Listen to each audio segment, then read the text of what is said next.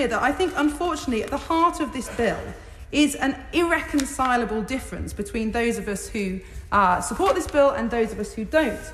And I think the difference is this that if you believe that it is not possible to change sex, if you believe that it is not possible to be born in the wrong body, then how do we define this concept of transgender identity? And I appreciate the Honourable Member has referred to a different bill, the Sentencing Act 2020. But unfortunately, if you read that bill, it doesn't attempt to define these terms. It certainly refers to these terms, and it talks about them as aggravating factors in assault, which of course they should be. And it tells the court to make account of the fact if someone has, uh, has, has used some transphobic abuse or referred to somebody as, as transgender or transsexual during assault, that should be an aggravating factor. But that isn't a definition of transgender or transgender identity. And the truth is, you can't define it because it is something that is felt.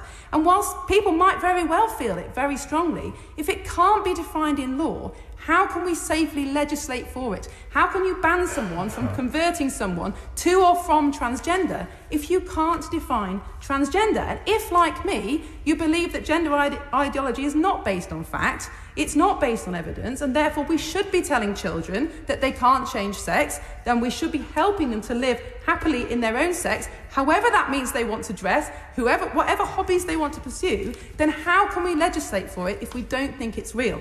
That is the problem at the heart of this bill and why we cannot safely legislate in this space and why we absolutely mustn't be putting these, uh, I'm afraid, contested and, and unevidenced ideas into law. Yeah. yeah.